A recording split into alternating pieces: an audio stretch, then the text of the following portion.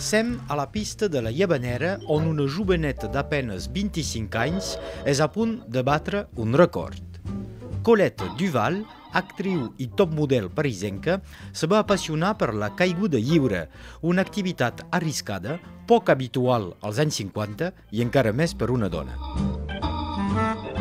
Aquesta minyona va marcar l'història del paracaigudisme fent caure diversos records com aquell dia de maig de 1955. Colette Duval s'enlaire des de l'aeroport de Perpinyà on molta gent va acudir. La porta de l'avió s'obre a 5.400 metres d'altitud.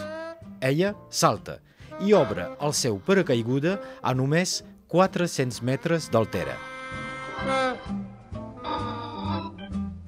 L'escena, molt ben filmada, va necessitar dues càmeres.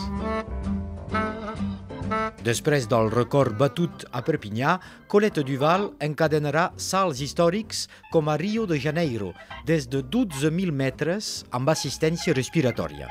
Esdevé una estrella més popular dels anys 60 quan se casa amb el número 1 de les cascades del cinema francès, Gilles de la Mare.